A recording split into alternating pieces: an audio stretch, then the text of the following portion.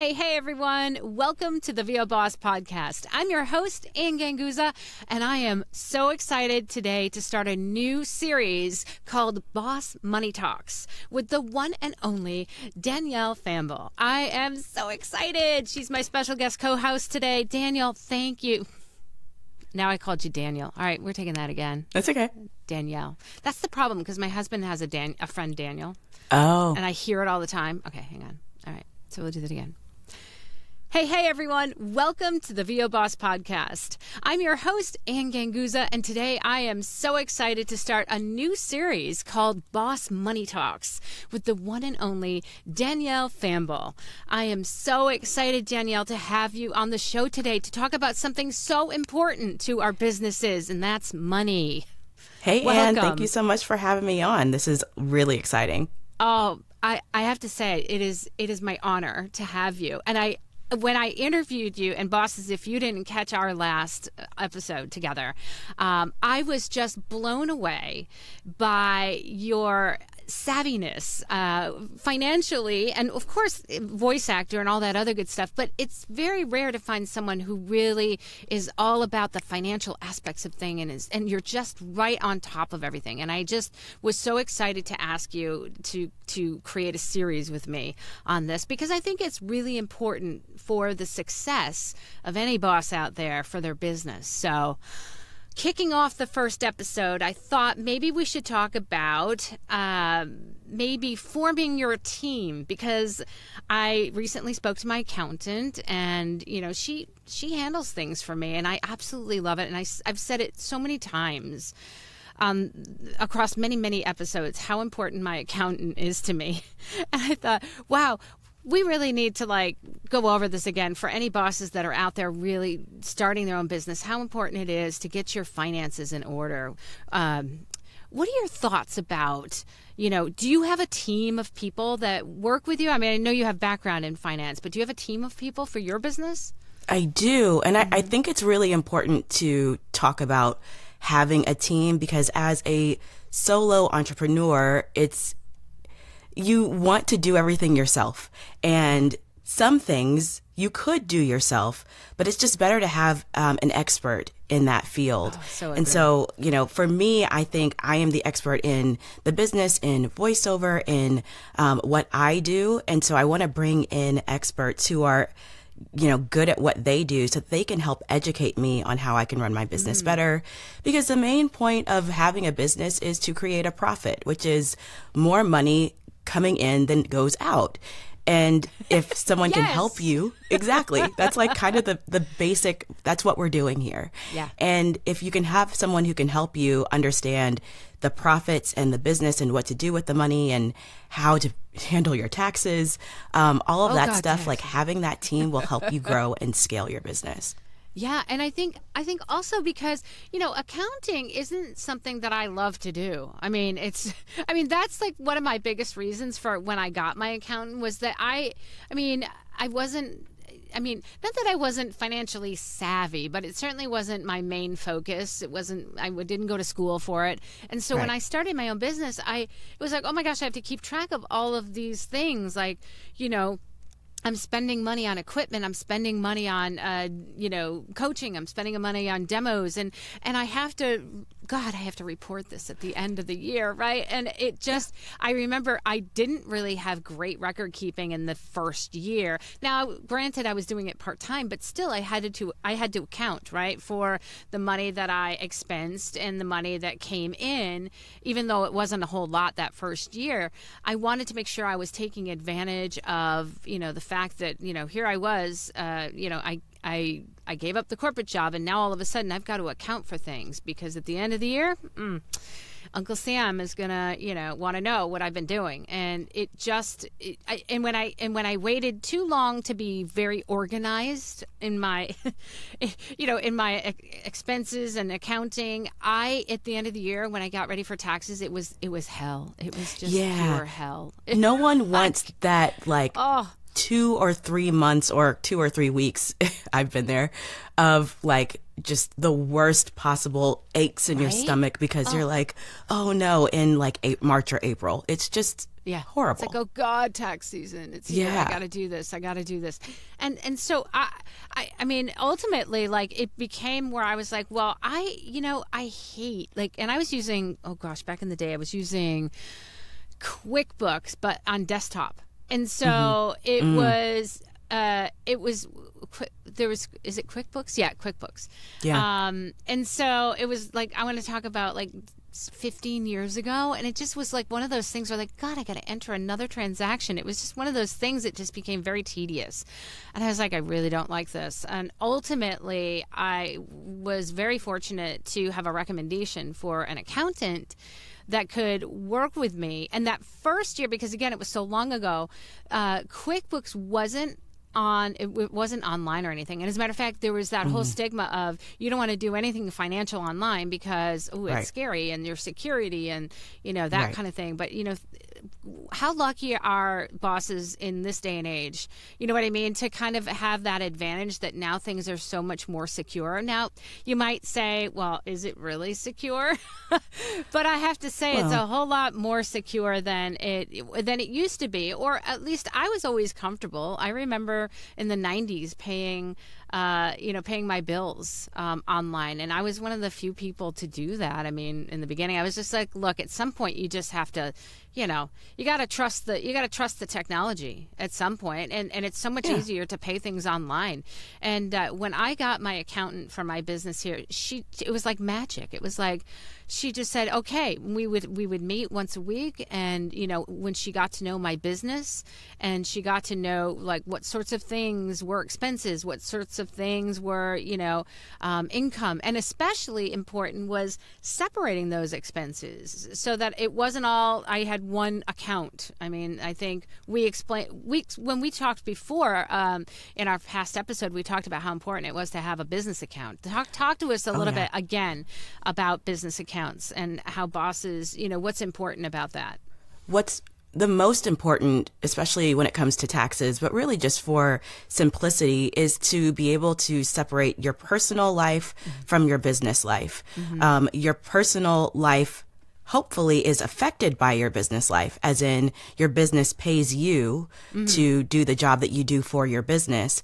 But keeping them separate is going to be very helpful, um, especially when it comes to taxes, and it will be easier for your financial team as you build it to be mm-hmm. able to say, okay, this is tax, this is business, and this is personal. Here's how we keep them separate. There mm-hmm. may be tax implications. You may be able to write certain things off if it's business, mm-hmm. whereas if it's personal, you can't. So it's helping you, but it's also helping your team, Sure. keeping everything separate. And I, it's like legally, you you kind of have to. I mean, imagine if like any major corporation, the CEO of that corporation is just like swiping their own personal credit or Yeah. debit card. Like you just it's it's you've got to treat your business no matter the size or the scale of it the Mm-hmm. way that other businesses are treated because they are taxed similarly. Yeah. Um, so this isn't necessarily just about business practices, but for me with money, all, all of it I think about is like come April 15th or come like the quarterly tax period, how can I mm-hmm. set myself up for success now so I'm not feeling crunched and stressed for a couple of weeks during tax time when my CPA is probably not as available to me because mm-hmm. they've got other people to work with. So it's it's keeping it separate will help mm-hmm. you with bookkeeping. It will help you with like the way that you think about your business and personal how you can pay certain bills on time. Just keep it two separate accounts one for your personal and one in your business name Sure. Now, now a question for you. Now, my, uh, I guess, I guess I would call her my bookkeeper. She also does my taxes. So I don't know if, if yours is one and the same, but what I found to be super helpful and convenient is that I literally just have her on retainer. She does everything for me.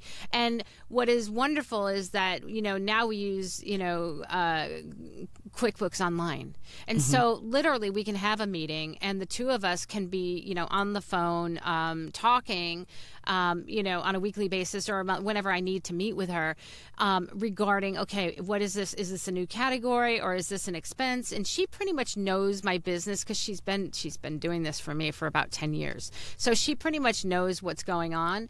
And it makes it so easy. I cannot tell you that this year at tax time and the last few years really have been like, oh, yeah, hey, oh, it's April. Um, you know, what do you need from me for the taxes? Do you need anything specific? Because she also does our personal taxes as well as my business taxes. Mm-hmm. And so in reality, like we barely have to do anything except, you know, send her, you know, send her the paperwork that we get. And uh, boom, she's done. I mean, and it's it's so stress free. And I it's just I don't ever have to worry.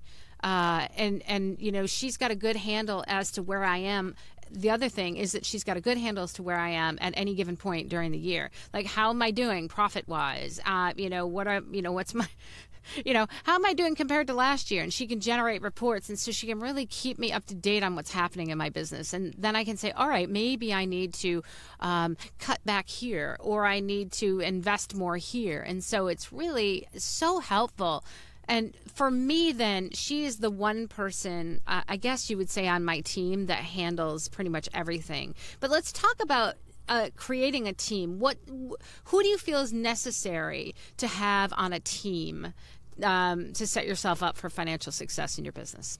I think this is a situation where you can expect to grow as you go. Mm-hmm. So mm-hmm. I would say the first um, person to add into your financial team, your money team, is a, a CPA or some sort of accountant who is going to be helping you specifically when it comes to your taxes. Mm-hmm. But you made a really good point because you have an ongoing relationship yeah. with your accountant. And for me in the past, I would only go to my tax person when it was time to do my mm-hmm. taxes mm-hmm. once a year. But if you can plan to have an ongoing relationship, and I also have my accountant um, team on retainer, so they know mm-hmm. where I am throughout the course of the year. We have quarterly right. meetings where mm-hmm. they give me quarterly reports on where's the profit, where what is mm-hmm. my potential tax liability as of that time of the year, as of that quarter. Um, yeah. So yeah. having looking past just April fifteenth and saying, okay, this is a relationship that I'm going to have with a person ongoing. For me, I didn't realize that in the beginning, and that's something that I've more recently figured out.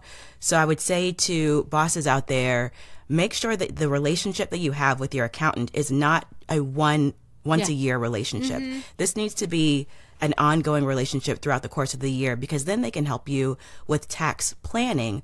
And if you're yes, forecasting absolutely. for what's happening in the future, then you won't feel so shocked and I've been I've been there. Mm-hmm. You won't mm-hmm. feel so shocked, you know, when it's time to to write that check or maybe you get a refund. I mean, yeah, hallelujah if you do. Absolutely. And you know what else too is that well, a lot of times I'm shocked by the state of California uh, taxes, but you know, that that's just a whole other issue. Um, that has nothing to do with the, my lack of preparation for it. Um, but anyways, the other thing too, depending on the type of business now I have, you know, uh, if you have a, a, DBA or you know an LLC or an S corp, which I do, um, my account also has I also have to pay myself, and so I have to do that on a on a regular basis. And so she mm-hmm. takes care of that as well for me. She took care of the registering of it, and anytime I get a, a letter from you know the IRS or from and which happens a lot with this S corp, yeah, um, because they're either you know keeping me up to date on on the newest things that are happening, or maybe for whatever reason from two years ago they always seem to find like you owe us a dollar thirty, and I'm like really like curious. You couldn't tell me that like a dollar thirty. Uh, hmm. And and the funny thing is, is that we've always like it's it's my accountant has always been so on top of it. She's like, no, actually, no, we paid that, and so she will take care of all of that for me. I'll just have to like you know scan the the paperwork that gets sent to me directly because my business is here at this address, and then I'll say, okay, what do I need to do? And she mm-hmm. literally will say, okay, here you need to you know we need to go to the IRS and we need to you know file this or do that. And it's more than just what you owe. It's I'm talking about all the paperwork that needs to be filed uh, for running an S corp. Uh, you know, for me in the state of the state of California, and as well as you know, she she pays me so that again, I'm not surprised at the end of the year. And as a matter of fact, you know, I have not been surprised really. I, have been surprised when I actually got more refund than I thought, which is great. Um, but I've never been like, oh God, I have to pay you know money which always makes my my my stomach twist in knots. Um, but th- that's been we've because we've planned so well, and a lot of times she's up on the laws, right? Because that's what she does, right? This Right. is why I'm like, why try to do it yourself? She's up on all the laws, and so she'll say, okay, so this year or now they've introduced something new where you can expense you know so much of your mileage or so much of your medical expenses. And so she's up on all those things. And that way we can take full advantage because who wants to pay more taxes if you don't have to? That's all I have to exactly. and it's and it's not even just about taxes as well. You go back to Mm-hmm. uh, what you're talking about being an s corp. I didn't know when it was the right time for me to be an Yeah, s corp and so getting that information i've i've i find if you can find in your accountant your cpa whomever you're working with find someone who has um, the heart of a teacher. Dave ramsey says that right? yeah. and like ha- find somebody who can help educate you because i wasn't trying to work with someone who just i handed things over right. Oh, them. your financial data I mean, that Exactly. is personal and sensitive, right? And it's got to be a. I think you have to have a special relationship with your accountant, to be honest. yeah and i and personally i'm curious because i'm I, I love money and Yes. numbers and talking about this. And also, I, I love my business. I love what I do. Mm-hmm. And profit is a huge part of my business, or at least the, even the income, the, the money that's coming in, is a huge part of my business. So I want to understand it. Sure. I want someone who can teach me how to think about things what I need to know going forward, what dis- that that informs what decisions that I make, what Sure. Conferences am I going to budget for, how am I, you know, how am I paying myself? All of those things Mm-hmm. is part of an education. So that person isn't just telling you what to do, you are working with them and then you can direct them with your business goals and ideas and they can help support you with what they know. Which so I that's love. Mm-hmm. a it's a huge part of of the money team and for me you said that your your accountant and bookkeeper are one and the same. Mine are two completely separate people. Oh, okay, okay. So Mhm. Yep, that the makes sense. uh, the accountant does just the taxes and tax planning, which we have our quarterly meeting, and then the bookkeeper is a completely separate person who does work Mm-hmm. That makes sense. at the the accountant's office and they do you know my monthly profit and loss reports Mm-hmm. and send that to me um, any like day to day they have access to my quickbooks so they're seeing Sure. Yeah. you know everything that that I'm seeing basically. So they're kind of a different point of contact, and I appreciate the separation because my bookkeeper is an expert in the bookkeeping aspect. So if I have questions, I go to that person. If I have questions about taxes, I go to this person. Sure. It I like that separation, Yeah. but it doesn't have to be that Yeah, way. No, and I happens to be agree. Mine. I feel like mine is a very unique case, you know, because she did our taxes before, but you know, it, it, I, she always did our taxes first. I didn't have her as my on, you know, ongoing, you know, uh, uh, you know, accountant for forever. I used to just go to her once a year, and then I realized we we developed a relationship, and I and I realized I was like, God, I hate entering. You know, I hate having to do this every month. She goes, Well, I can do it for you, and I was like, Oh, yes, please. yeah. Um, so I, I I think also what's wonderful is isn't it nice that you know now we have things that like especially in our in our business our income comes in electronically.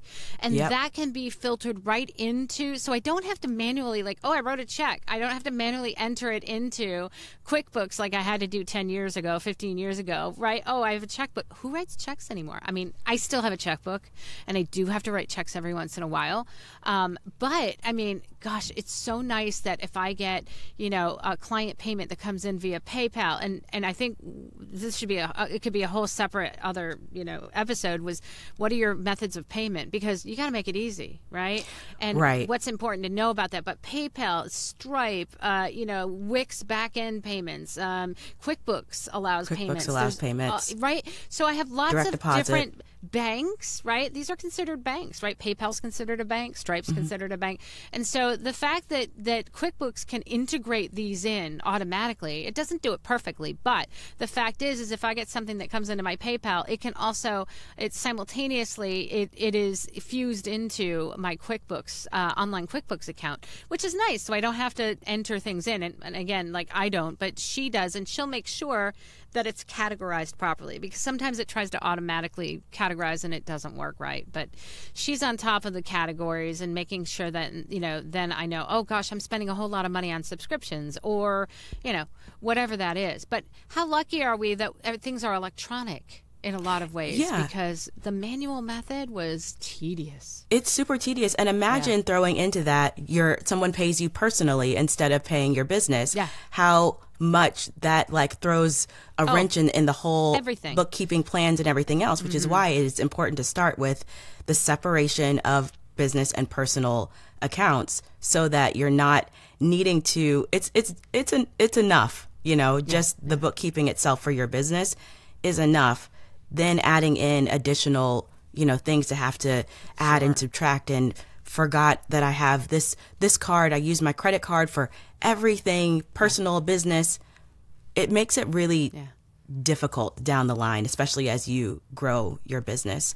Um, so yeah, it, it's it's great to have everything electronically. It's great to be able to be paid in multiple different bank accounts or different accounts, um, but keeping it all still under the under the umbrella of your business, separate from you mm-hmm. personally, mm-hmm. is really, I would say, like the the baseline. and and I think the simpler the better. Like, I but then again, you know, for me and anybody that knows me, I have multiple multiple departments of my business or multiple businesses really. Sure. you know I, am not just Anne Ganguzza I'm not just VO Boss. Um, that's one of my brands. And then I'm also Anne Ganguzza Voice Productions. And I'm also you know VO Peeps. And so I've got really kind of three different streams of business that come in. And uh, you know of course i'm always looking for more streams of income. And so you know i think if you can keep it simple uh, in terms of you know what what streams of income I, i'll take income at any any way you can throw it at me. But you know for my accountant i've got to make sure that it's organized and easy. So the more that i diversify my business and again i'm thinking of diversifying yet again for another brand just because you know i i like to keep it i like to keep it interesting. Uh, you know so i've got another brand coming up but you know that's that i'll discuss that later. Uh, and so i i want to try to make it as simple as possible for my accountant uh, but yet still allow clients to pay me in a, in a number of different ways. I will make mention that I had uh, my one business account, which I had to actually, um, I actually had to change over to a new business account, and the reason why is because I changed my name. I originally was a DBA under Ann Speak, and then I decided when I went and I created the S corp, I became Anne Ganguzza Voice Production. Just changed the name, changed the name. But because I did that, right, uh, my all of a sudden it became like it became like a thing with my bank that said, "Hey." We don't have you under this Ann Speak name, or where, who's this Anne Ganguzza Voice Productions? So because I didn't have the two registered at once, I didn't go back and DBA, you know, and add it in. Uh, they then said my business account was not valid under the name Ann Speak anymore, and I couldn't, you know, so I had to open up a new bank. I had to open up a new business account, and so it amazed me just how tied in that one business account was to everything that I did Yep. to my PayPal, to my Stripe, to you know uh, my website. Here, pay me. Everything would go on my Venmo. All my you know all my Bank of America was tied into that account, or my my cards, my debit cards were all tied into that one business account. And transitioning it over became like oof you know that is that's an event. As a matter of fact i still haven't completely transitioned over and completely closed the old account so i still have money coming into two accounts. So now it's even more important that i have a team uh, or i have you know people really watching both accounts. Oh yeah, for sure. I mean, there, it's it's being treated. The, your new business is being treated as a new business, Yeah. even though it's not. It's the same business under a different name. Yeah. But that kind of tells you why it's so important to keep to really start and plan it. Um, to, to create almost the foundation for how you're going to be separating your accounts, the names, the how you're getting paid, how what what's being paid in taxes, who's going to be your team to mm-hmm. to oversee all of that, really setting up the structural foundation of how your financial the financial components of your business, how that's run is really important. The unfortunate thing is it really is tedious and time consuming when you're in the process that you're in, but you only have to do it once. Yeah, And exactly. you learn the process so that you know what to do uh, in the future. I, I uh, just recently purchased a, a rental house in my, my home state of Texas. And I was speaking to my accountant about, like, I've never done this before. What do I do? And she said, Oh, well, you just treat it like you treat your other business. And for me, having the, um, having the experience of doing this with my business, my voiceover business, Mm-hmm. has actually taught me what I can do to copy paste Yeah, the right? Mm-hmm. principle, the idea. So once that. you get this, once you understand how you're working your business and creating the structure for your business and the team that you need to help you, you can actually take that knowledge and just copy and paste it to the whatever the next thing or the next industry is, which is really Mm-hmm. Yeah. pretty great. I love that. So, all right. So, in addition to, let's say, your bookkeeper and your accountant that does taxes, is there any other member of your team or anything else that you can recommend for bosses? And I guess the, also, I'm sure the bosses are like, "Oh my God, I can. I'm not even making money at, at voiceover. How am I going to afford?" Right? We. I want to address that as well. Right. So, like I said, this is a grow as you go situation. I did not start by having a CPA and a bookkeeper and, you know, the other members of my team, which I'll, I'll talk about in a second. So I would say start with what, what do you need in the moment? If what you need in the moment is a, an accountant, which I would say everybody's got to pay taxes. So I would start there. Yeah. Is having an accountant. Maybe it's not somebody that you have on retainer, but it is someone that you can maybe check in with once or twice a year um, outside of tax time so that you can make sure that you are educated on what you need to be doing to prepare yourself for tax time. I would start there if you mm-hmm. can. Mm-hmm. And then if you can grow to having that person be more of a, you know, a person that you work with on an ongoing basis, mm-hmm. that will definitely help you as you grow.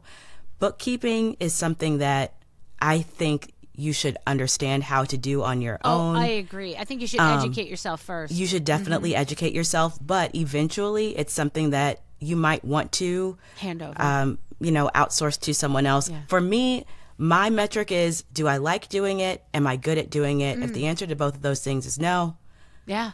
I will find someone I like who that. that is their gift. and and and find someone you know i think again it's it's one of those it's you know shop around i mean this is Yeah. it's got to be somebody you trust again you know your financial your financial you know life is i think very personal and and uh, people you know are very like you know they want to be very secure about it so it does take a special like relationship i think with a person that you trust with your your numbers and you might need account. to yeah shop around you might need to work with multiple people i mean I, this is Mm-hmm. the cpa that i'm with now is not the cpa i was with two years ago Mm-hmm, and so this is still a relatively new relationship that Mm-hmm. she and i that we're cultivating with even with this bookkeeper so there's a lot there's a lot to learn, but you need to learn about it from a person who, like I said, has that heart of a teacher who wants to help Sure, educate sure. you.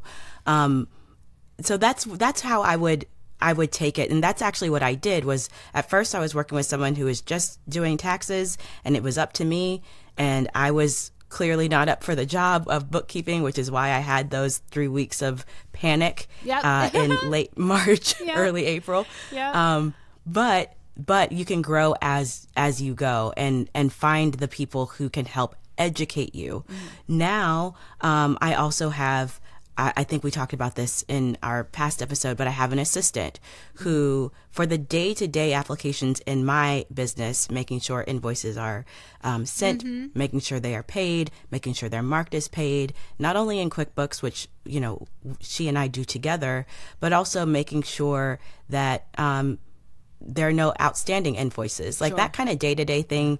Some people have a bookkeeper do it. I have i do it with my assistant um, and to give her credit she's really the one who's like more on that day-to-day in terms of like data entry and things like that.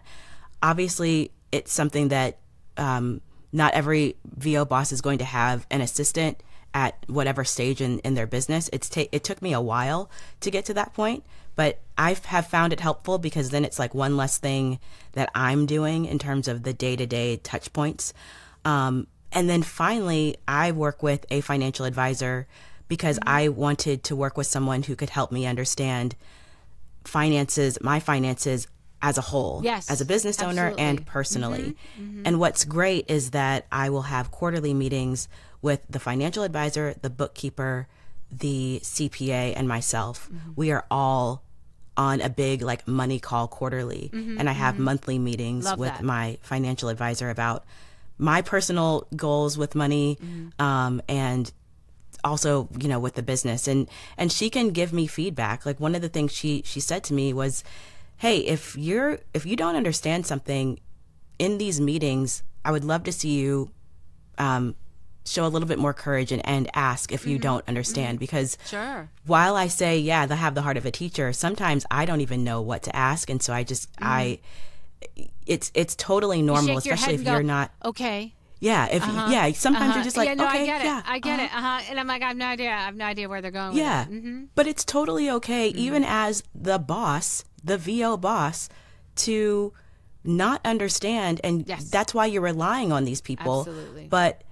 really, truly, like lean into your curiosity and, and Mm-hmm. understand because these people that you're working with, like I said, the ones I'm working with now, I wasn't working with two years ago. You may work with a new team at some point. Yeah. And so you want to go in with a level of armed with the knowledge um, about how your business is run and what your goals are for your business so that you can direct your team instead of them telling you what to Well, do because you are the boss. Absolutely, absolutely. And what a what a wonderful note to to actually to end on. Yeah, you are Yeah. the boss, and so yeah, you need to educate yourself um, so that you can direct these people with your financial, you know, your financial aspect of your business, which is so very important and so very, you know, I, I think you know close to to our hearts um, as we try to, you know, as we as we run our successful businesses. So I Exactly. I manifest that. Um, Danielle, uh, thank you so much. I, I could go on and on and on. Now I just thought like a hundred other questions, which I'm gonna I'm gonna ask you in, in our next episodes. But bosses, stay tuned for this brand new series called Boss Money Talks with Danielle Famble. I am so so happy you were here today, Danielle. Thank you so much for sharing your wisdom and knowledge. Bosses, I'm giving a great big shout out uh, to our sponsor, IPDTL. You too can connect and network like bosses. Find out more at ipdtl.com. All right, have an amazing week, and we'll see you next week. Bye. Thanks, y'all.